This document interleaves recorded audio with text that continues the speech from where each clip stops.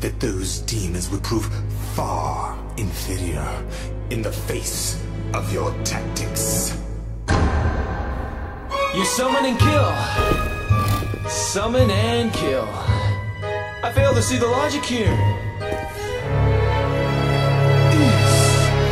It. The price to pay.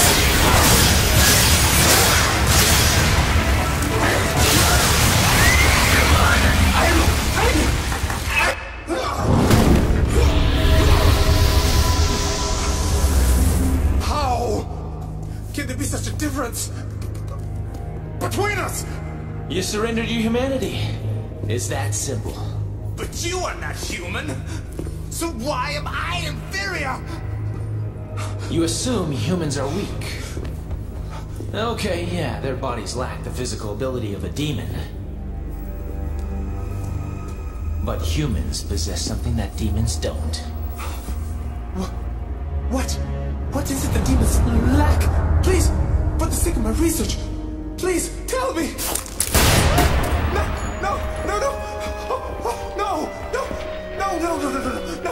If you're gonna continue your research in the next world, no, no, no, no.